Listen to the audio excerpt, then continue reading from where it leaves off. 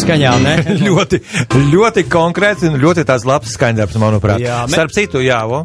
Jā, es, es gribēju teikt, ka nu, mēs, mēs, mēs iedzeram, mēs iedzeram sulu, jā, bet uh, varbūt, varbūt ne to, ko bija domājis cienījamais mākslinieks Ulds Markilevičs, kurš uh, iespēlējis šo dziesmu. Starp citu, Ulda, Markilevičs uh, iespēlētais Radio SEH galvenais džingls, tas jau sen ir stāstīts, ka ir visspēlētākā dziesma Radio SEH ētrā patiesībā. Jā, nu jau 19 gadus. A, Kā pie jums Radio SEH plus, kas ir tur galvenā džingla vainīgs? Uh, ne ar ko ne, nevarēšu tev iepriecināt, arī tur Marhiļievičs pra, praktiski bija. Un arī Nu, rokā. tagad, nu, te- modificēts, protams. jā, nu tās beigas tur citādāk Nu, sača, jā. bet tad tu rēķini, spinā gan laikam nav, bet tad trijās stacijās katru stundu skan. Spins nebija 19 gadu atpakaļ. Starp citu, uh, Arti, gribu apsveikt vecāko brāli, teiksim, tavā personā, Radio SVH, šajā foršajā dienā, šajā dzimšanas dienā, nu, un tev kā lielam, teiksim, striptīzi mīlētājiem un pratējam, kā, kā, kā zina visa radio auditorija. Eh, Mēs domājam, ka no Krievu redakcijas mēs te uzdāvināsim krekliņu, kur tu tagad demonstratīvi arī uzvilksi.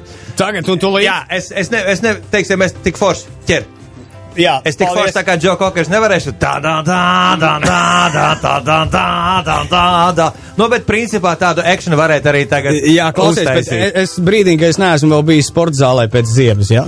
Draugi mīļie, tagad jums ir reta iespēja redzēt atkailinātu Dvarjonasa kungu Arti. Es starp citu man pretī Pēc sēž ilgāka laika. Neviens cits kā Edmunds Kaševskis.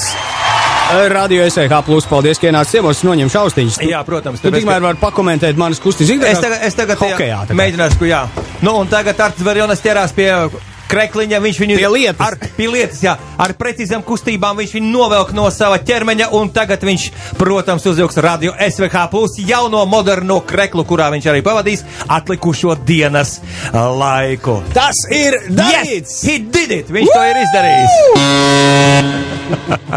Tas Ok. ir izdarīts. Paldies, paldies par šo dāvanu. Malači, malači. Nu, un principā es domāju, ka nu, 19 gadi tas ir tas, eh, tas ir tas vecums, un tā ir tā, tā ir tā vispār tā ir tā sajūta, kad viss ir forši, ka tev ir spārni, ka tu lido, tev ir tāda perspektīva, tu esi jauns, tu esi. Nu, vispār 19 gadi tas ir ļoti labs. Tu cipars. esi ļoti jauns, tā pašā laikā tu esi jau eh, tā kā. Bet nu, tu jau saproti, kas Tu notiek. vairs vari Jā. neklausīt vecākus. Un Un, vairs- un lietot. Klau, cik šajā radio SEH saimē ilgi ir radio SEH plus? Radio SH plus ir pa vienu gadu mazāk. Tikai pa vienu gadu mazāk. Jā. Tad jums pilngadība. 18. Jums jā, jau- mēs arī, Jā, jau mēs notiek. arī, jā, jā, arī varēsim jau tā, nākošais gadu jau tā. Jā, nu redz, kā mums pievienojās Spinefēm jaunie, mēs jau te ar Ralfu parunājām, viņiem vēl līdz 19 un 18 tālu, bet nu, ne, Tu, tas tikai tā liekas, ka tas ir tālu. Īstenībā tu tā nepaspo, nepaspēji pat, teiksim, uh, nomiršķināt acis, ka tev, aha, jau ir. Un kad tas bija, tev, eh, tev liekas, ka tas bija vispār tikai vakar. Bet, nu, principā tā tas ir. Uh, Bet kas ir forši? Ir forši, kad uh, pa visu šo laiku, kad eh, SVH nav savu feelingu pazaudējis un nav pazaudējis savu power, savu, savu tādu stingru.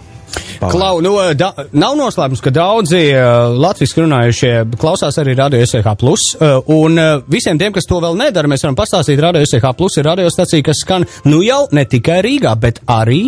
Arī Daugopilī, arī Rezeknē, arī Liepājā. Mēs jau skanam, izgājām tautā, izgājām Latvijā. Ko var dzirdēt Radio SEH Plus ēterā? Uh, SVH plus ēterā var dzirdēt uh, mūziku mm, Krievu valodā, kas uh, dziesmas Krievu valodā, uh, izklaides raidījumus, visādus konkursus, uh, protams, ziņas, uh, ordinālās ziņas, nevis kaut kādas tur copy-paste no kaut kurienes, mm -hmm. ar uh, ordināliem mm, komentāriem, ar ordinālām sinhronām kaut kādām reportāžas arī lietām, kuras, kuras uh, ļoti veiksmīgi izpilda mūsu ziņu dienests. Un es domāju, ka, eh, no, ja mēs skatāmies tā no vietējā produkta, tad, nu, es domāju, ka mēs ļoti normāli darām savu darbu.